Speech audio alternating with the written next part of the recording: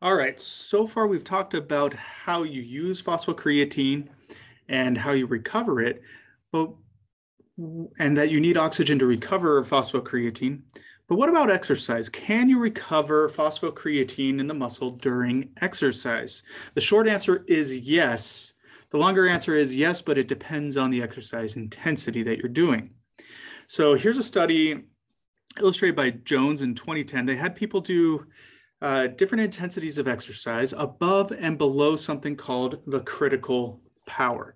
This critical power is, is the maximum intensity at which you can uh, obtain steady state conditions in the muscle or in your body. All right, so it's a maximum intensity where you'll hit a steady state heart rate, steady state VO2. It's the maximum intensity where you'll have a steady pH, which we'll see in a second. Uh, it where it happens in relation to VO2 max varies from person to person, but it, it's usually in an untrained individual somewhere around 50% of their VO2 max.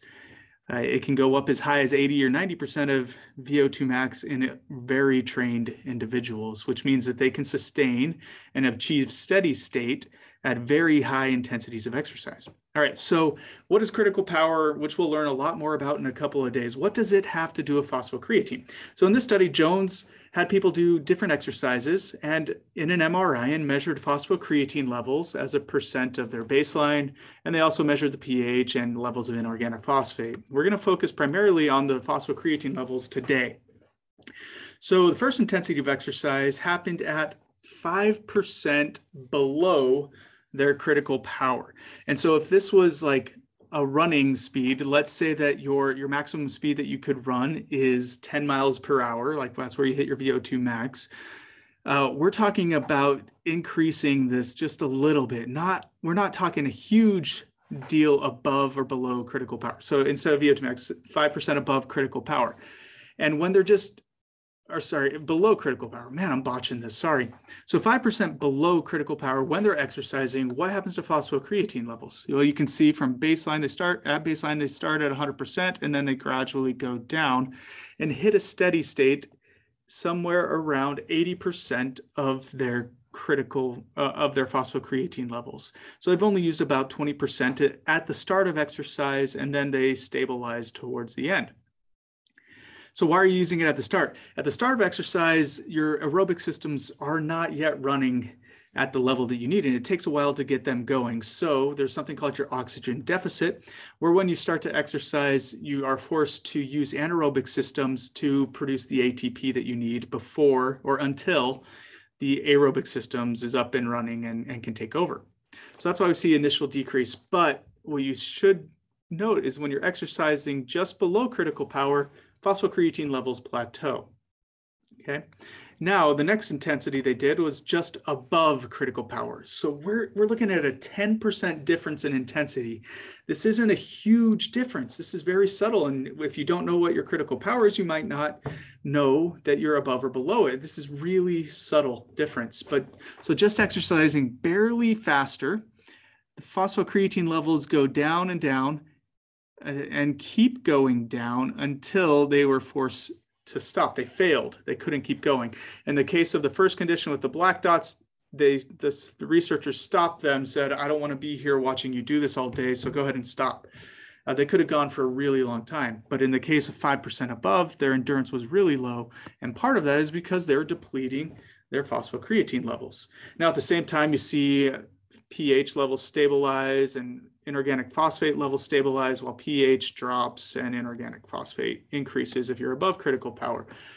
So these things are major signals for peripheral fatigue. And so in addition to depleting your phosphocreatine levels, you're also having large signals for peripheral fatigue and inefficiency in the muscle, which we'll talk about. So exercising above critical power, you're going to use your, you can't get a steady state of phosphocreatine. You're going to deplete that phosphocreatine very quickly. But what about recovery? So in this study, they had people exercise again in an MRI and they measured the phosphocreatine levels. Here's baseline. And then they had them do exercise until exhaustion on three different days. And they reached the same levels of phosphocreatine at exhaustion. And then they gave them three different ways to recover. Now, the recovery is the, the emphasis here. The first way that they were allowed to recover from the exercise is just lay there and so they got to just lay down and the recovery happened rather quickly and they hit their their baseline levels or close to baseline within about six minutes or so. Now, another way that they got to recover, which doesn't sound a lot like a recovery to me, is exercising at a power slightly greater than critical power. So at a high intensity, and if they're doing that, phosphocreatine levels did not recover and they failed really quickly. They couldn't do their cool down, which was a very intense cool down, but they couldn't do it and phosphocreatine levels did not recover at all. Now, they had them go just a little bit lower on their exercise recovery this time, so slightly below critical power. And in this case, they gradually recovered phosphocreatine levels, but not up to, not at the same speed as if they were resting. So if you're exercising below critical power, you have some extra ability to dedicate ATP produced by the mitochondria to the recovery of phosphocreatine. If you're exercising at a higher intensity than that, it seems that all the ATP that you're producing is preferentially directed towards uh, performing the exercise itself, not the recovery of phosphocreatine. There's some nuances in here and there and uh, that will influence that, but that's the general idea. So can you recover phosphocreatine during exercise? Yes, but it has to be below a certain intensity. And the closer to rest you are, the faster the recovery. So if you want to really mess up your competitor.